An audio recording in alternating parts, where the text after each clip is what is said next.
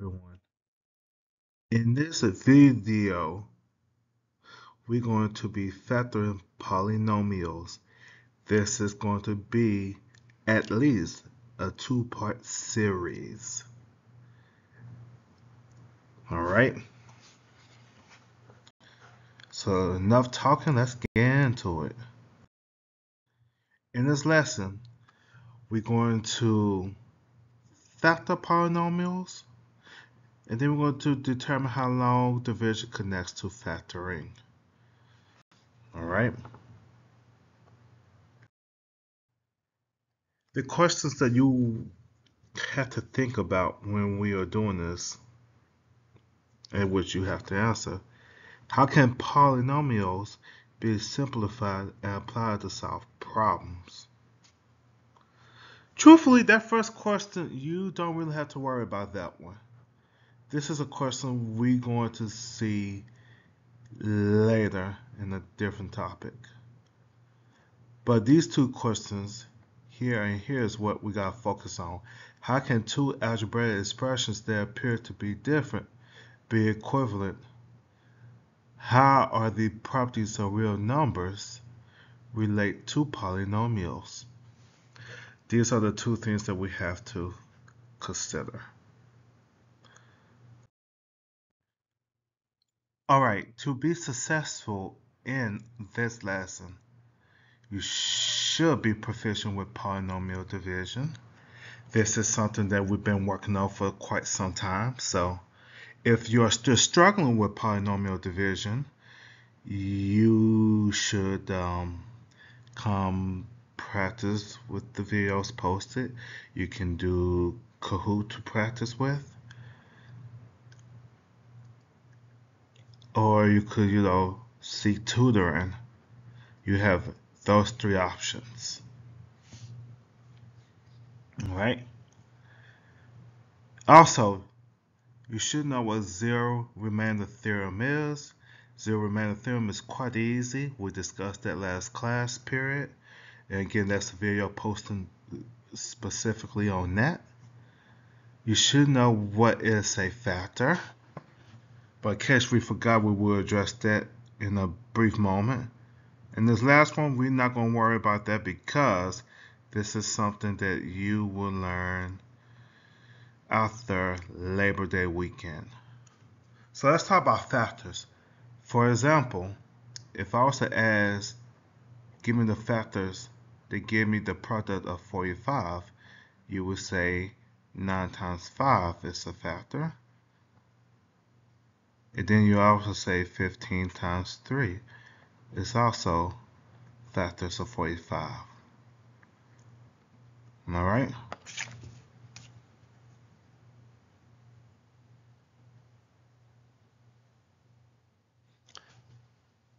But we also are aware of the commutative property. For example, 9 times 5, we could say 5 times 9 are factors of 45.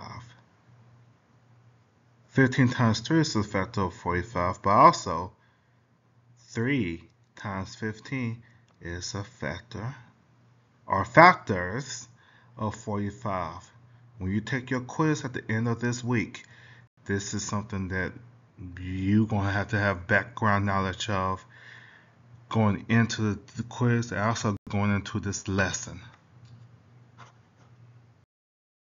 All right, we're going to have data talks. So look, one thing about me, you're going to pretty much know where you stand academically and you're just going to know everything that goes on around the class in terms of um, data. But listen up. Data is a number that tells a compelling story. All right? So when we talk about data, it compels. Compel us, give us something to really, really think about. It really creates the narrative and describes how we are. Like, for example, when I'm talking about data in terms of my class, this pretty much describes how you are as a student in mathematics. So let's get into it. All right, so this is your Kahoot data from the most recent data. So when we was prepping for the remainder theorem, we were at 69% average. So that's not correct. So we was one point away from a C.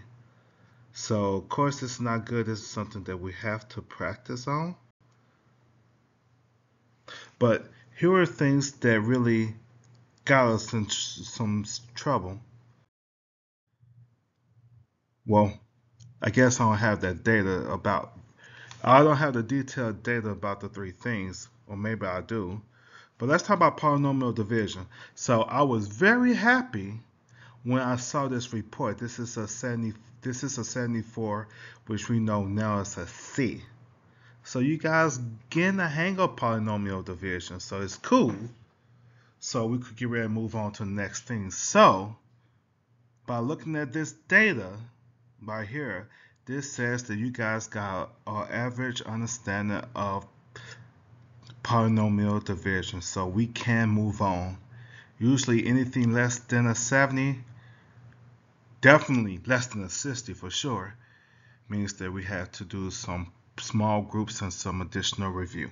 So good job on the polynomial division. All right, so some of the multi-steps equations.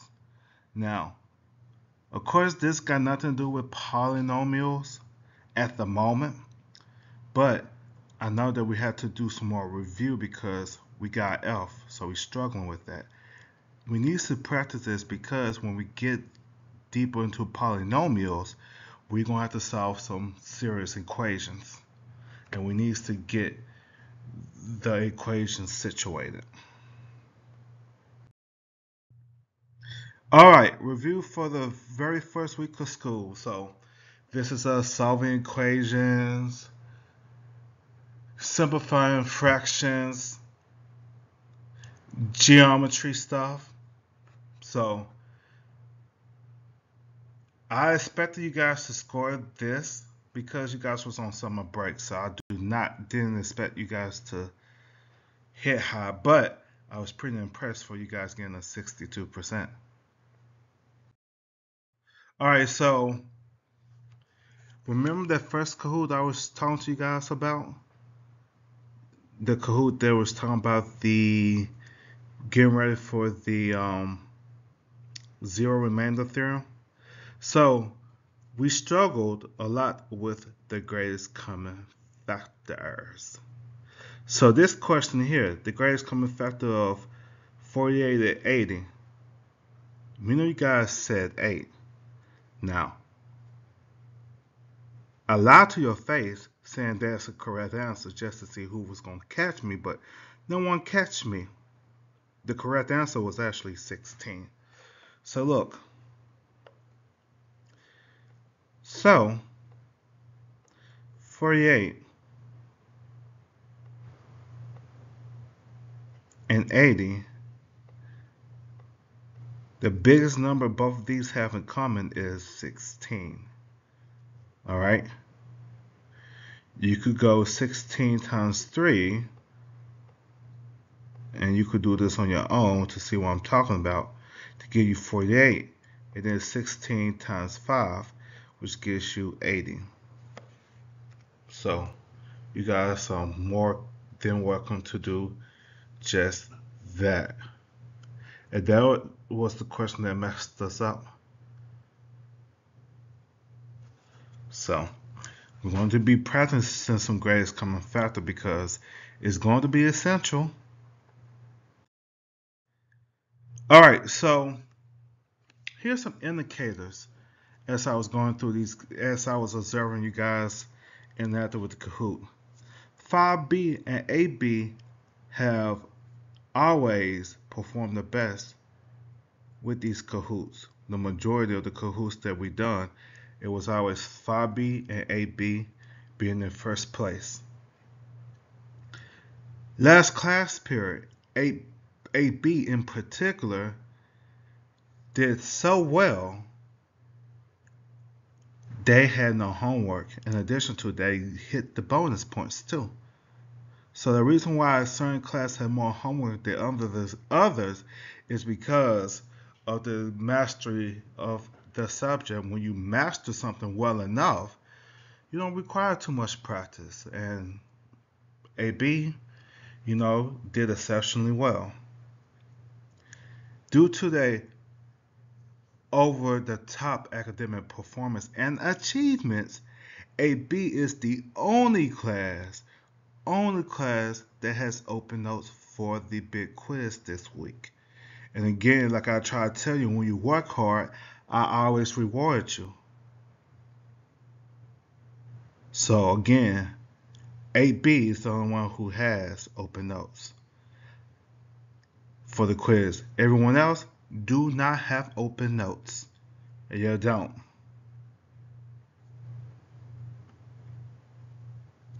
Three A will be the only class to use the generic calculators.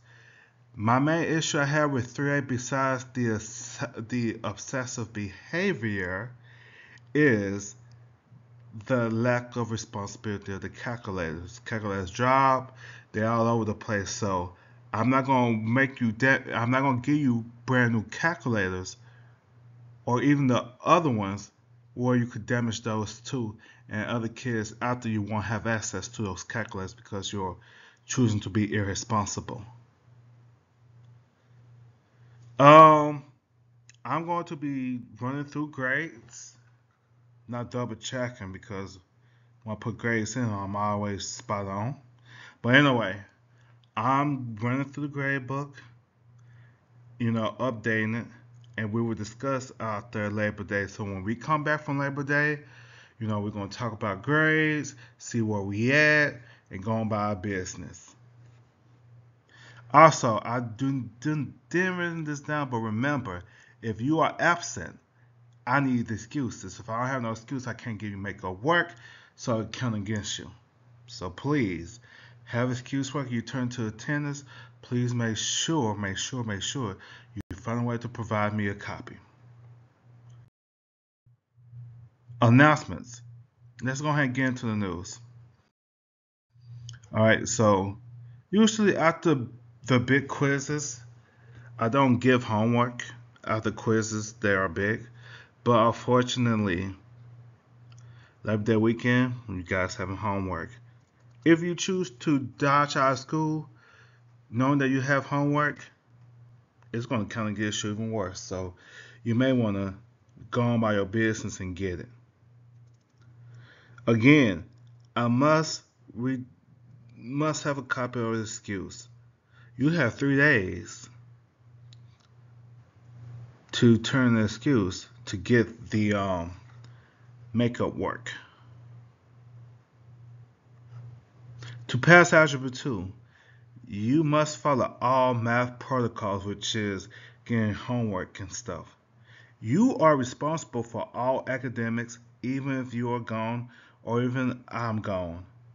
And the reason why I stress this enough because all the lessons that I teach are pre-recorded and posted. So you guys have access to, you know, these lessons. You are responsible. Unless I approve, I approve no food allowed in my classroom because you have tendency of leaving food. You tend to leave mess in my classroom.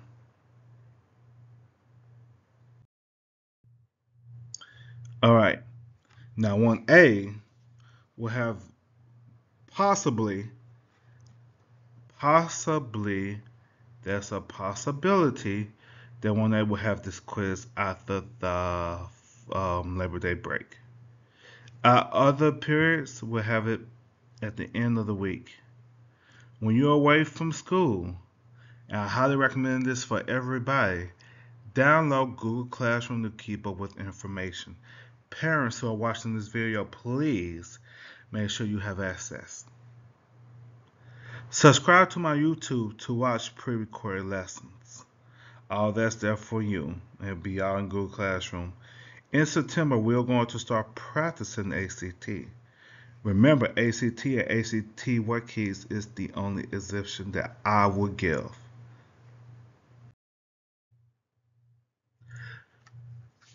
When how we do things in math and algebra 2.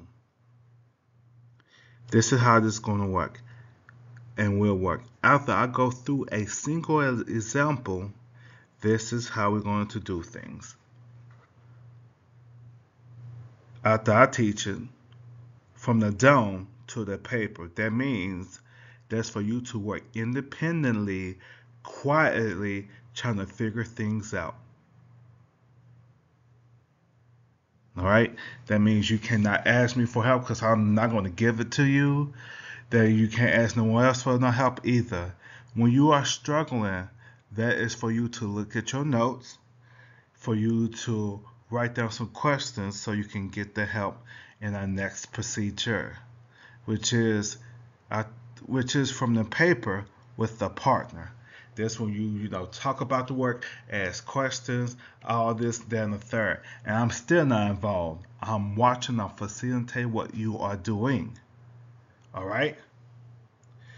After you did start with the partners, from the partners with the teacher, I will gladly address any misconceptions.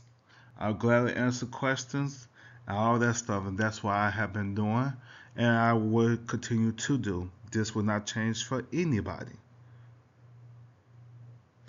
You are not allowed to ask for help from the teacher until you complete steps one through two. Again, if you are stuck, use your notes, write down some questions so we could get to all of that to figure out. The reason why I want you guys to think for yourself is because you will be amazed at what you can actually do on your own. I want you to figure this out on your own because once you do, you're going to feel amazing about yourself. It's a great confidence booster, so try it.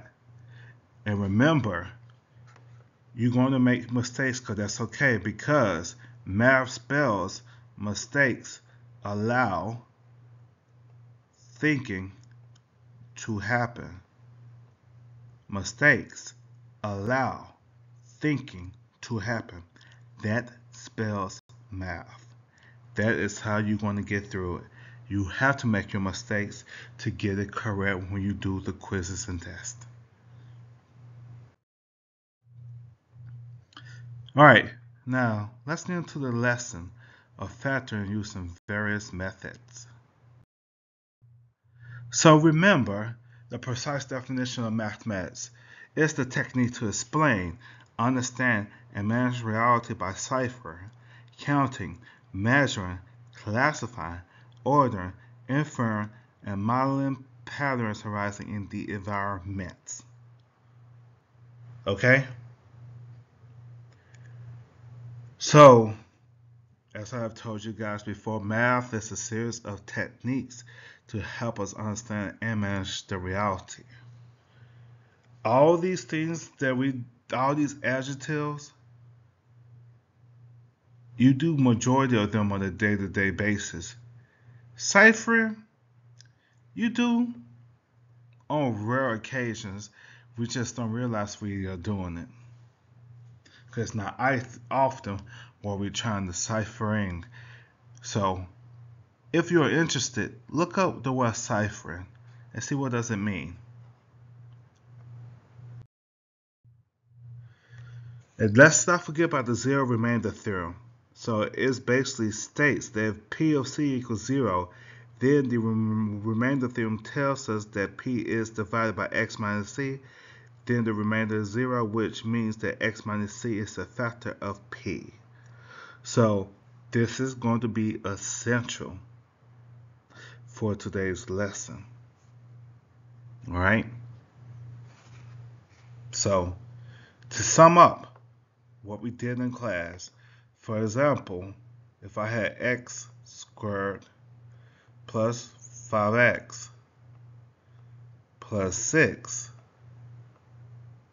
if I was dividing by x plus 2, I realized that all I have to do when it's x plus 2, I just make x equals negative 2. And then all I have to do was to plug in negative 2 for every x you see.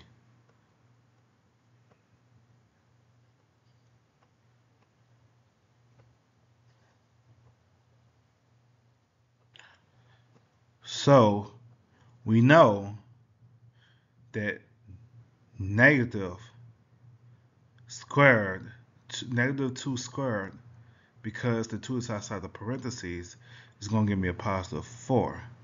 But 5 plus, I mean 5 times negative 2 gives me a negative 10. And then if I was to add 6, that gives me, that is going to equal 0. So therefore, x plus 2 is a factor. All right. This right here is a fine way to get through the factoring of today. All right, so let's move through it. All right, so what is a polynomial? Remember, it's an expression that can have multiple terms, such as a monomial, which is just one term, a binomial, which is two terms, a trinomial, which has three terms, a polynomial that has more than three. However, exponents must have at least at least the degree of zero. For example, 10 10 by itself is called a constant because 10 could be rewritten as 10 x to the power of 0 and we know that anything to the power of 0 is going to be 1 so it's going to be 10 times 1 which gives me 10 alright 10x is a monomial x minus 49 is a binomial and then you have this right here as a polynomial so remember, a constant is a polynomial because it can be rewritten x to the power of 0. For example, 1000 is equivalent to 1000x to the power of 0. From there, 1000 times 1 equals 1000.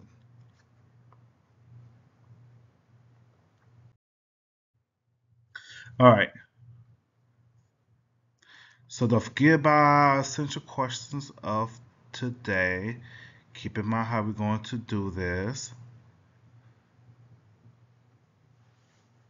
So we can move on. All right.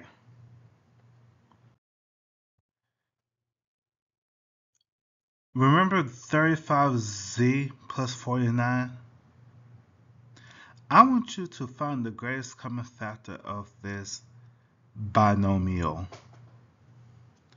pause the video and try it out.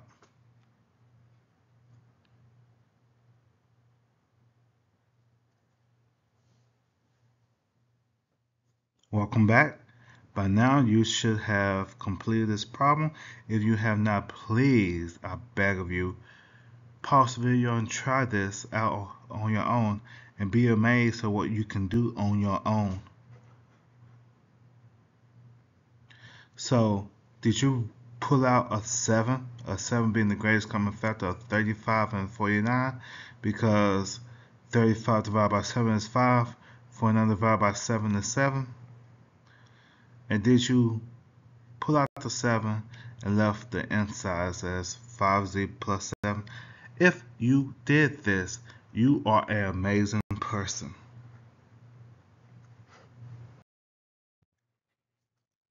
All right why don't you try this one out too? Pause video and see what's up.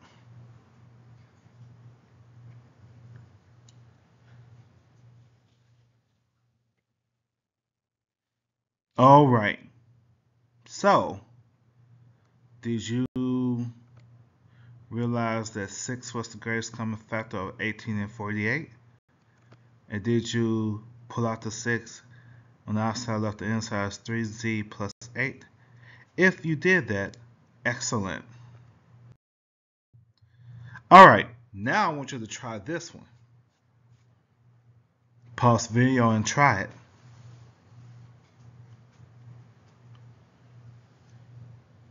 All right, welcome back.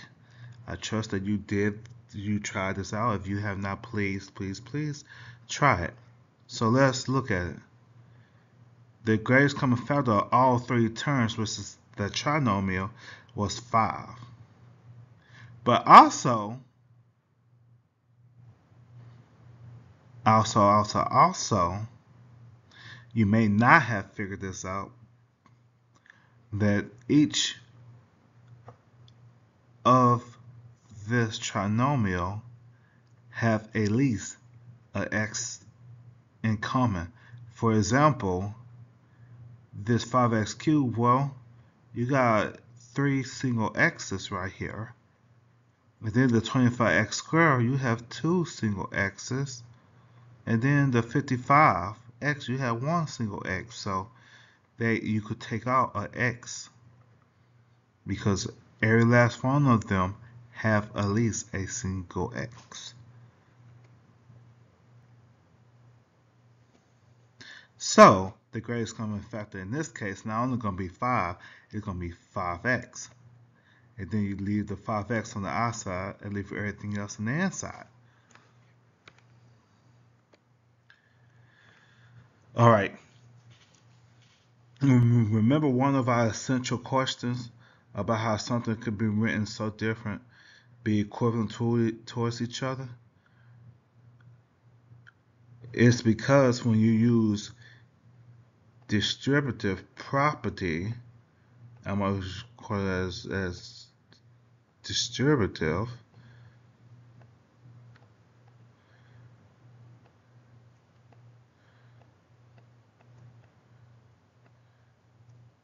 So by distributive property, what you get on the left hand side is what you get on the right hand side. So therefore, these are equivalent to towards each other because of that. So we just satisfied the essential question. And if you forgot about the essential question, please play back in the beginning part of the video. All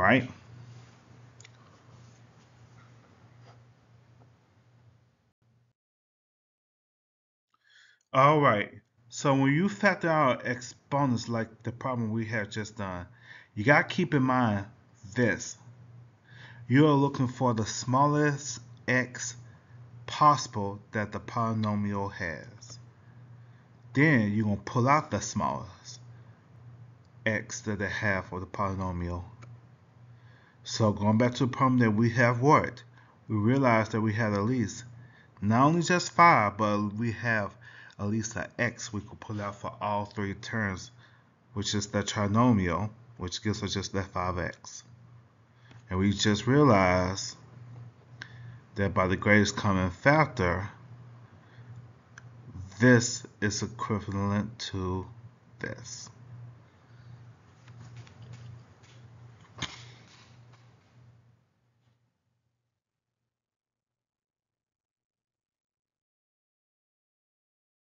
All right.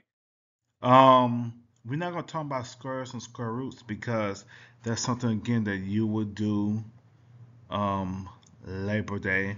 I mean after Labor Day weekend. So we ain't gonna go through all this. So with that being said, are you ready for the challenge of this factoring? So throughout the factoring, I'm gonna give you steps or factoring in certain cases. I just need for you to just follow along. All right. So when you multiply a trinomial of ax squared plus bx plus c, when a is 1, and remember, when you see this, when you see x by itself, it could be rewritten as 1x to a power of 1. But in math, we don't do this because we know that this is the same thing as just x. Alright? We don't write this because we know that this is redundant to what x is. Alright, so let's do the, go through these first step, first four steps. So step one, determine what real given the product of C. So when we're saying reals, we're saying the real numbers. So what are two real numbers give you the product of C? Step 2.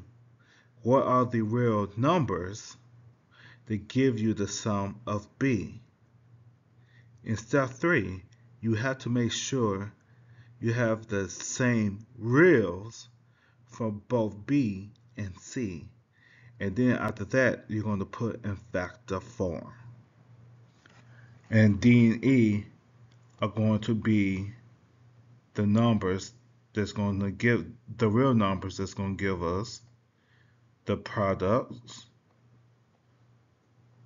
of C and also the sum of B.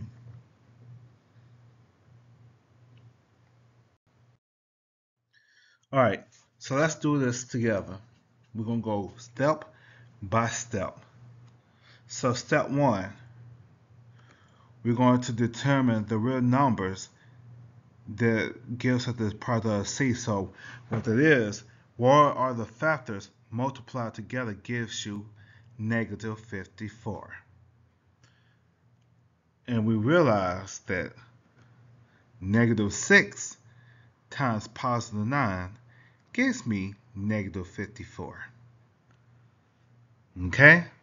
In the next step, step 2, we got to determine the real numbers that gives us the sum of b, which we realize that negative 6 plus 9 equals 3.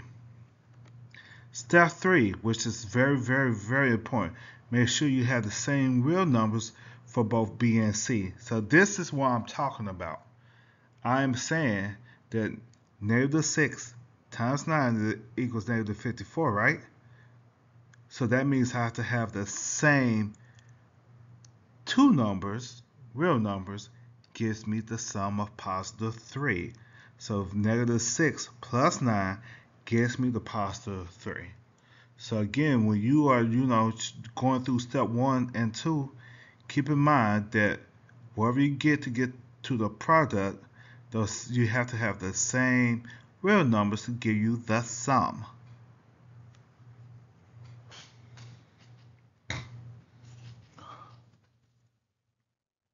All right, with that being said, you're going to put it in factor form. So x minus 6, x plus 9. These are our factors.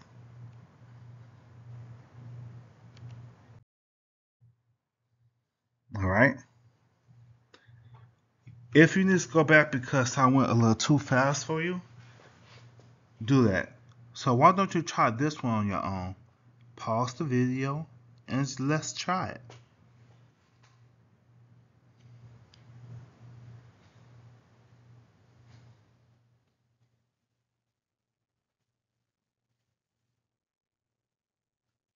Welcome back. If you have done this, kudos. If you have not, please pause the video and try. Remember, if you just waiting for me to give you answers, you are hurting yourself. So for those who worked the problem out, let's compare answers. Did you do step one? Did you find two real numbers that give you the product of C? And did you get did you determine the real numbers to give you the sum of B? Did you make sure that both real numbers give you B and C? Did you put it in the factor form? Did you get x plus 7, x plus 3 as your final answer? Now, you need a brief explanation. We could do this. So for C, well, I'm trying to look for the product that gives me 21. I'm looking for the factors of 21. And I know that 7 times 3 is going to work. And now because I got 7 times 3, that means that in step 2, I have to find those numbers to give me the sum of 10, which I know 7 plus 3 gives me 10. In step 3, I have to just check the work and make sure that my numbers are the same. I had 7 right here to give me a factor. I also have 7 right here, which helped out with the sum. Then I have the 3 right here, which 7 times 3 gives me 21. Also, 7 plus 3 gives me 10. So this is very, very crucial to have. All right. If you got this right, good job. Kudos. You is all that in a bag of chips. All right. Now, let's use a zero remainder theorem to show that x plus 3 is a factor of x squared plus 10x plus 21. So we did the work. We know that when we did our factoring, we know that x plus 3 and x plus 7 are our factors. We know this already. So, with that being said, we have to use the zero remainder theorem to show that x plus 3 is a factor of this. So let's do it. So you get x.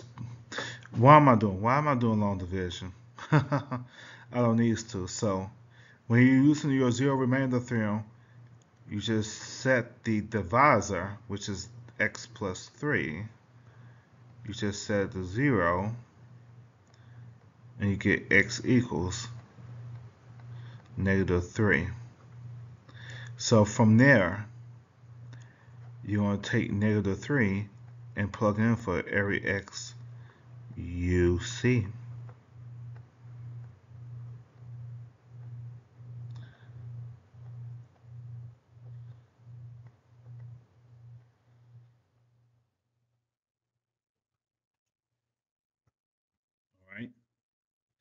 And when we do this,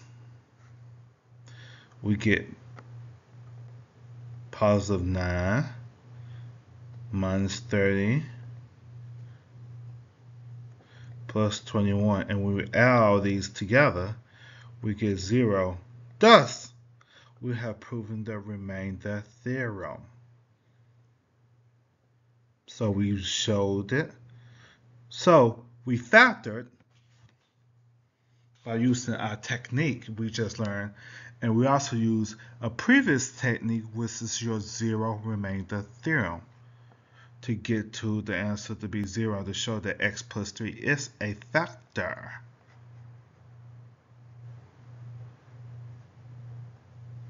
So we did x plus 3 to show that it was a factor of this guy right here.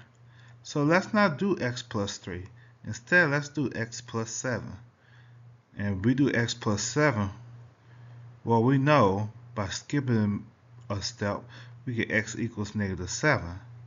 And then we can plug in negative 7 for every number we see.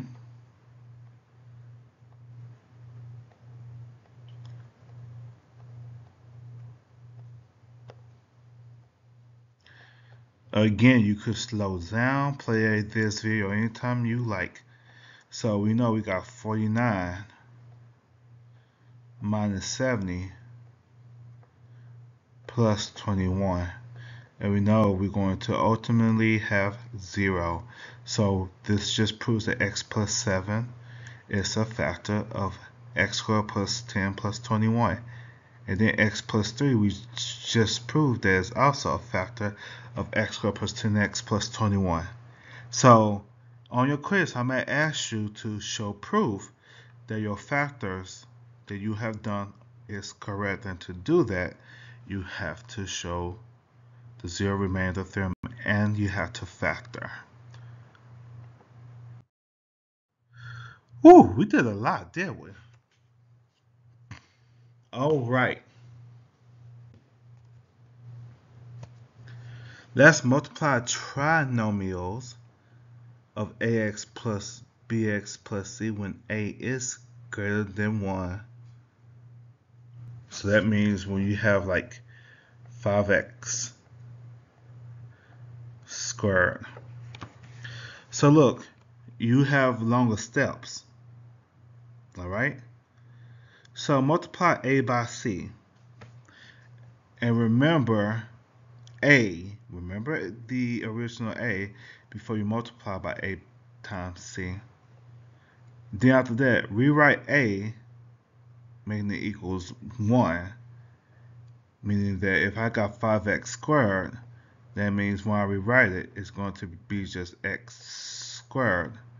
I'm going to keep the b, b is going to stay the same, to change c. Alright, so from step 3, 4, and 5, and 6, these are the same steps that you did in the other trinomial when a equals 1. So determine the real numbers to give you the product of c. Determine the real numbers to give you the sum of b. Make sure that you have the same real numbers that gives you both b and c. Put in factor form. Now step 7 and 8 is different. You, have to divide E, I mean D and E by the original A, which that's why I told you to remember A in step 1. If A does not divide by D or E, move in front of the X.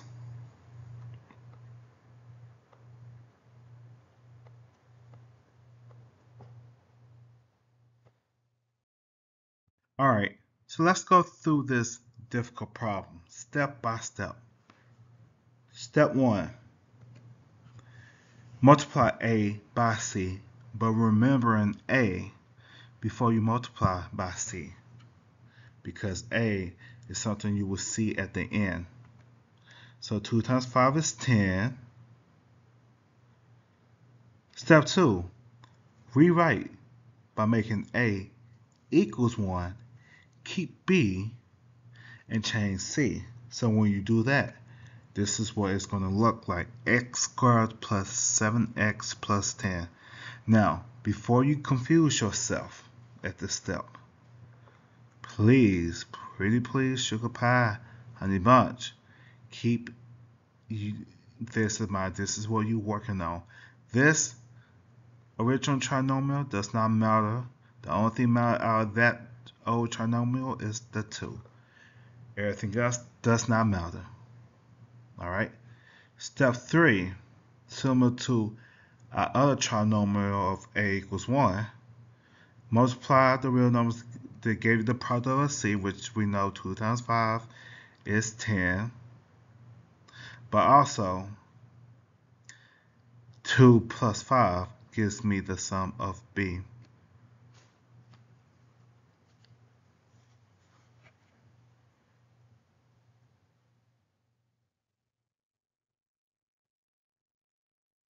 right? Did you? Well, I'm sorry. Next step. Make sure you check your work. Make sure that you realize that 2 plus 5 equals 7, which gives us B. But 2 times 5 gives me 10, which is our new C. And don't forget, you are still right here. This is where you are at. You're right here. You is not over here no more. The only thing matters from here is just the 2, which you're going to use at the end. Alright? From there, put our numbers in factor form. D becomes 2, E becomes 5. From there, remember the 2? I told you that was the 08 that does matter. Why don't you divide all that by the original a, which was 2? So 2 divided by 2, that gives me an integer of 1. 5 divided by 2 does not give me an integer. It gives me a decimal point, and because of that, I have to move the 2 to the front. Thus, my answer is going to be x plus 1 because 2 divided by 2 does give me 1. But 5 divided by 2 does not give me an integer, so therefore I move that 2 in the denominator to the front.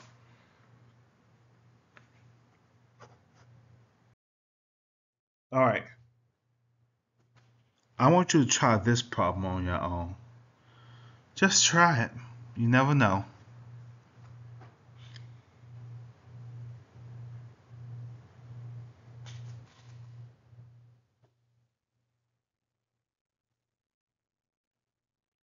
Welcome back. I trust that you tried this problem of your own. If you have not did it, I beg you please pause the video and try it on your own because you never know what you could you could figure out. All right. So did you multiply A times C to give you 18? And did you realize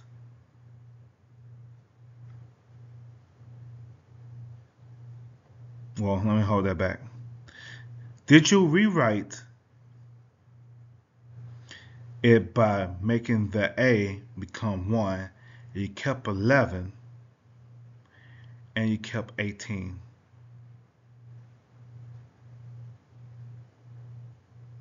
Did you multiply 9 times 2 give you 18 and 9 plus 2 gives you 11? Did you double check to make sure that you got the same numbers to give you B, which was 11? And did you check to make sure that you got C when you multiplied using those same two numbers? And before you get confused, don't forget you are using this guy here. You're not worried about this no more. This is done with. Except for the 3. The 3 is the only thing that matters all right. Did you put in your factor form? Did you divide everything by the original a, which was 3? Now divide by 3. Did you get an answer of 3? And when you divide by 2 divide by 9, how you realize you didn't get an integer with that and move 9 to the front? If you did those steps, this is the answer you shall have. Good job. All right, factor about grouping. This is uh, easier, I think, because you have to do only three steps. Put into binomials, factor each pair of binomials, place the outer terms in front and the inner terms in the back.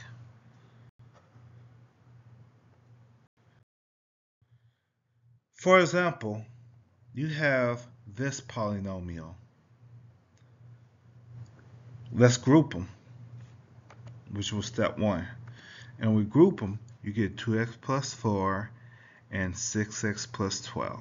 So that's us grouping. And because 6, let me uh, address this, because 6 was positive, you're just going to leave that 6 right there because that's understood to be a positive 6. All right? So we put in we put into binomials. Step two, we're going to factor out each pair of binomials. And we do this by G, C, F.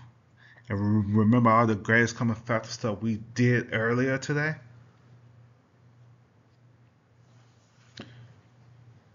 So in case you forgot, let me address it.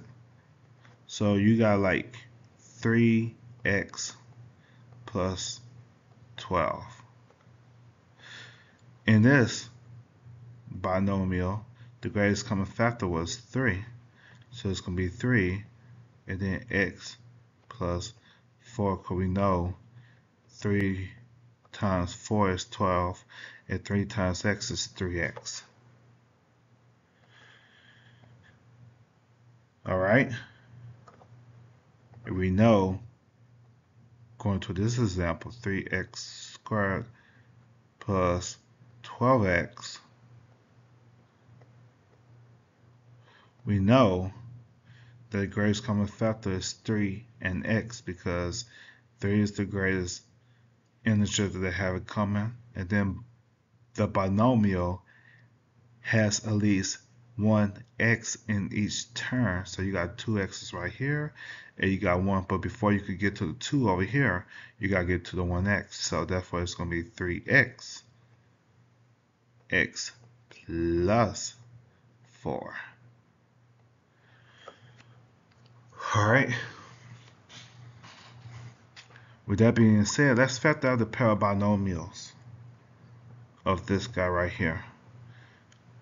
So when we do that, in the first binomial, the greatest common factor of 2x plus 4 is just 2. So you get x plus 2. Alright, in the second group, the 6x plus 12, the greatest common factor was 6. And you got x plus 2. Alright? So, we're going to place the outer terms in front and then the inner in the back.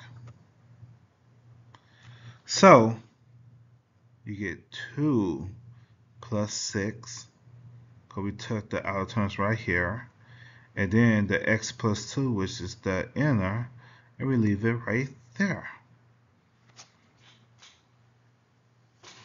I know some of you guys want to add 2 plus 6 which gives you 8 but for this purpose of what I'm trying to get you to do don't do that leave it as 2 plus 6 do not add do not make that 8 I promise you you're gonna mess yourself up alright let's move on and these are the three steps that you have to do. So why don't you try this on your own? So try this one on your own.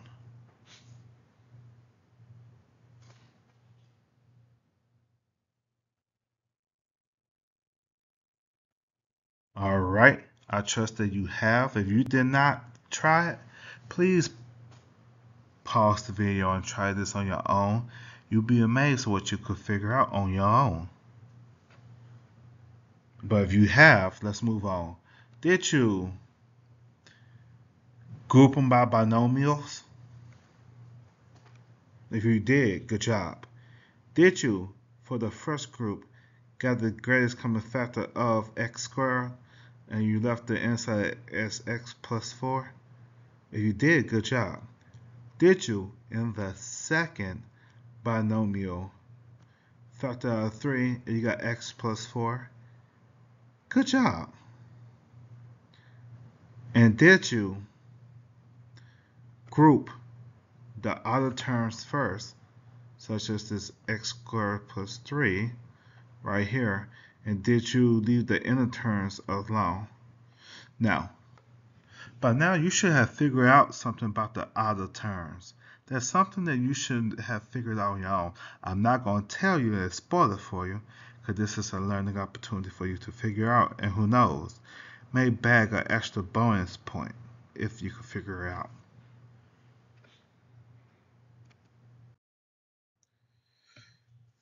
All right, we have made it to the end. Homework. Homework, homework. Is these problems right here. What I want you to do for these problems, and again, if I'm going too fast, just pause or rewind. Make sure, make sure you, when you're factoring the trinomials that has a equal 1, factor it, but also check your work by using the zero remainder theorem. But when you have when you factor a trinomial where a is greater than 1, just factor like the steps that said. Alright? In addition to, I may pull Kahoot for the factor my grouping just to see where you can be.